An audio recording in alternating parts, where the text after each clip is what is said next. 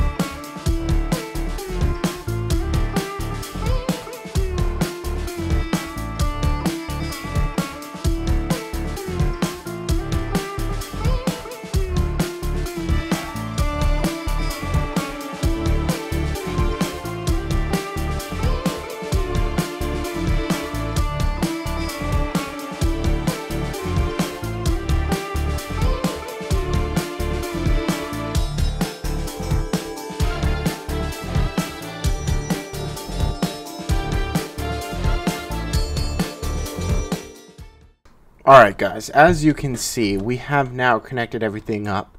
All we gotta do is capture the villagers now. Oh boy, I'm gonna make some more mine minecarts. It's strange to think that I used to actually live in here, isn't it? It was so long ago. Alright, so. We need the farmer. Come on, buddy. Come on, buddy. Go, go over there. Um, crud. Alright, we're going to do that. And then just try and move him into the path of the minecart. Come on! Come on, bro. Come on. There we go, guys. There we go. Oh. Oh. Oh. Oh. Now that is the wrong way, isn't it? Come on. Yep, yep, yep. There we go, guys. All right. We have the first villager on his way. And this is the most important villager because after this we can just use any of the guys we want. But the first guy does have to be a farmer. And since I did, as you can see, run out of uh, powered rails, we are going to have to push him a bit. Uh, which is whatever. It's not ideal, but you know it could be worse, right? Oh, he might actually make it. Look at that. Oh, wow. He had enough momentum to basically make it there. Bam. Uh, let's see. Don't want to hit him. There we go. He's in there, guys. We did it. We got our first villager. Now, we just have to grow grab the second one.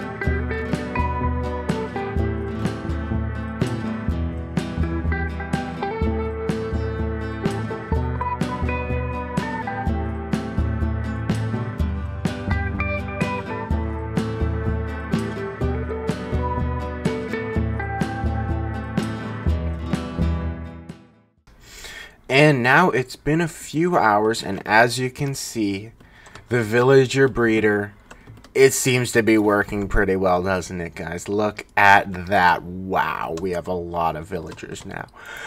Uh, I think we actually have enough for quite a bit of time, which is why I actually, uh, I decided that we're actually going to close it for now. I turned off the farm by placing a block here. Because right now we just don't need any more villagers because we really, we really have quite a few, don't we? Um, one thing that I did actually do wrong, though, is I kind of built this wrong. It needs to be...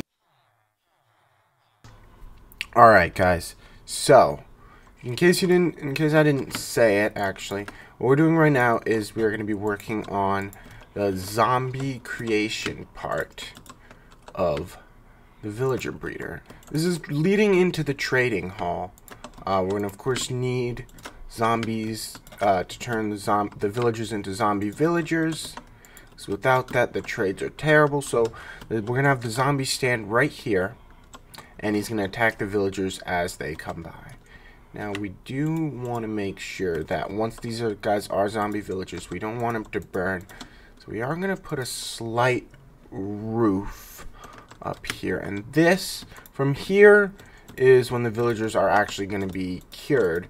So from here on, we're going to lead it over into the trading hall, which I'm not sure completely where it's going to be built. We could have it go underneath this, or we could have it go somewhere like over there.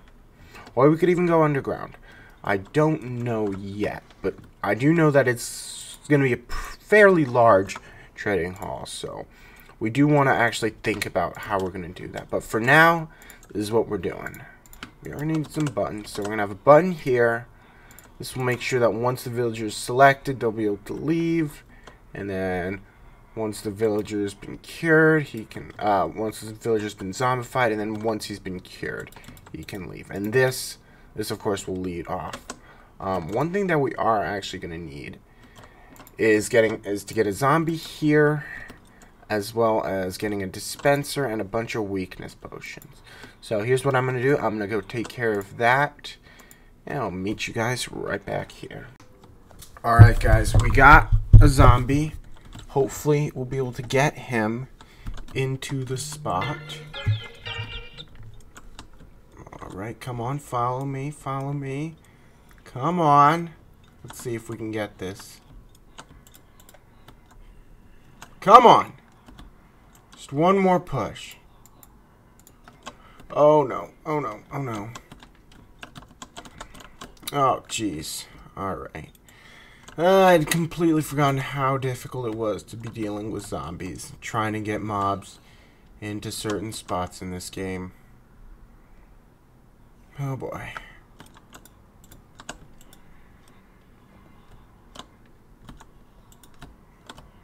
Come on, bro!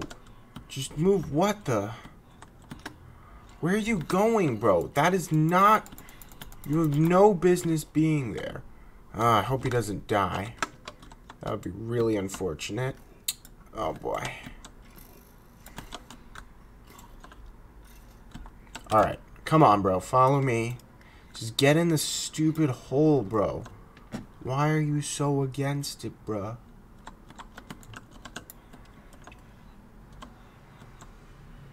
There we go. We did it, guys. Alright, I gotta quickly name tag him. Get rid of that. And we're going to close it on him. We did it, guys. Oh, oh, oh. We finally captured a zombie. Now, I can actually finish building this. That was really the one thing that was actually holding me back from finishing, and I needed to capture a zombie. And now, we have them. Alright, so it's been a bit of time since the last clip, but now I've prepared all the materials that we're actually going to need to build this trading hall. And I decided that yes, it's just going to continue this way out. And I even came up with what I think is a pretty nice design. So sit back, relax, and watch me build this magnificent trading hall.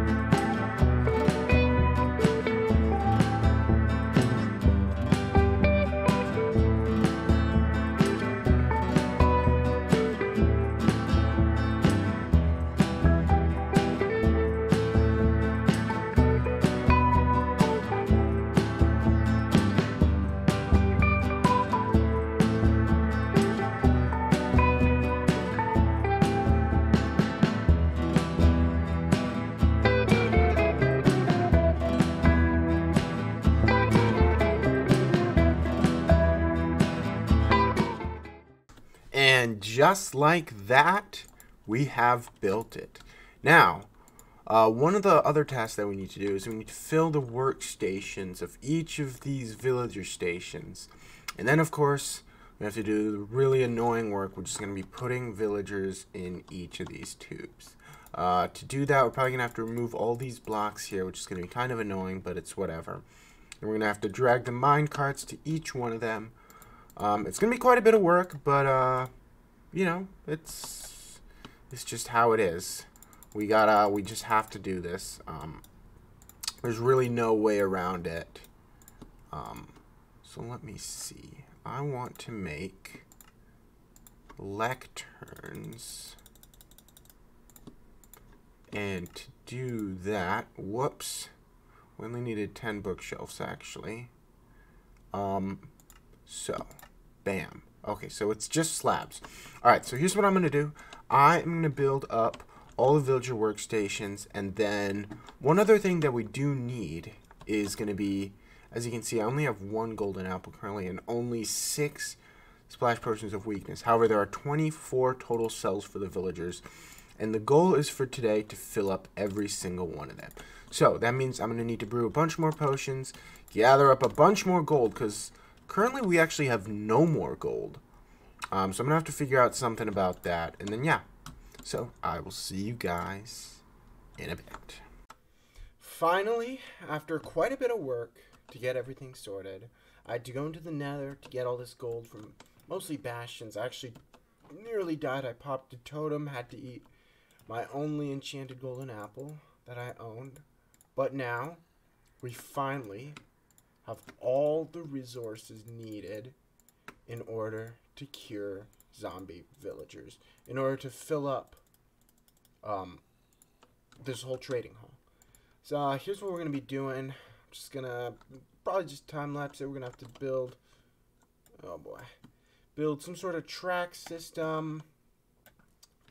And I'm going to speed it up because otherwise it's going to be pretty boring. So sit back, relax, and enjoy the last part of the trading hall.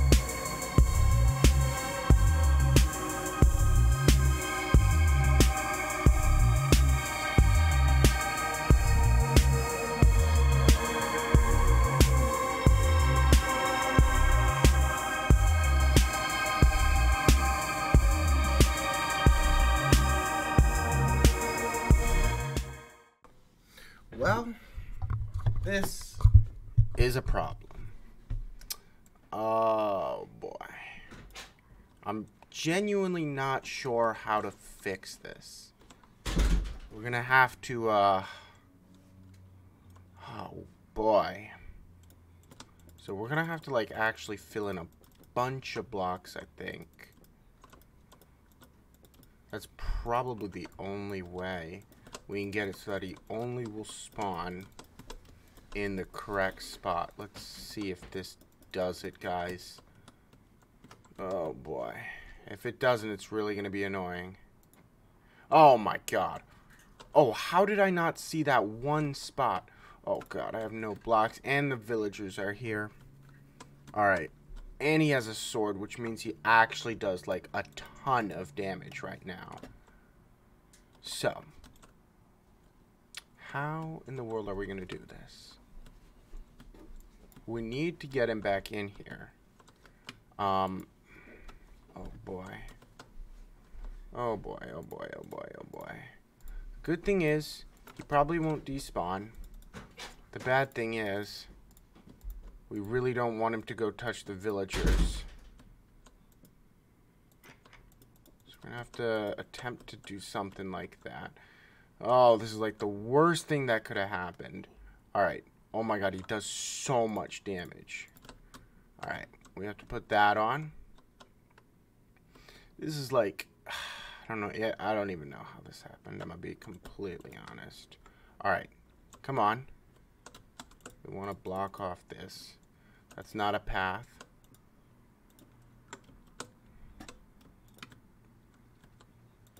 Oh my god. What? How did he fall? What? What are you doing? Why did you fall? Oh my god, bro. What are you doing? Bro. Yeah, come over here. Come over here. Don't tell me you can't path find on the stupid rails. Oh my god, bro. Also, we're running out of food. Oh my god. This just gets better and better, doesn't it? Alright, let's see if we can do this now. Come on, buddy. Just this way. Walk with me here. We're going to see if this tactic will work. We're just going to actually just jump. Yes! Oh my god, we got him. We got him. Alright, guys. Now we're going to resume the work.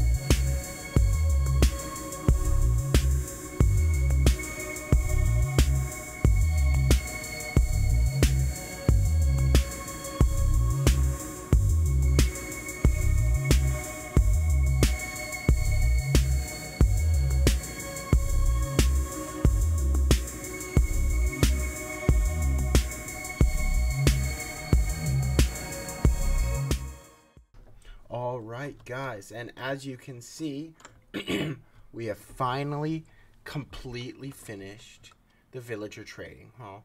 We got villagers in all the cells and I've started to trade with them.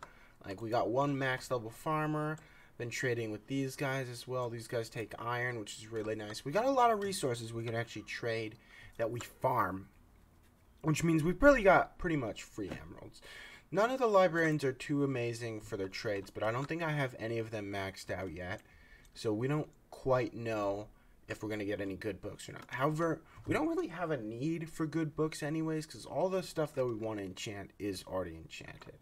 Anyways, guys, I hope you enjoyed this episode. It's been a long one. It's been a lot of effort, so I'd appreciate it if you dropped a like. And I'll see y'all in the next one. Thanks so much for watching.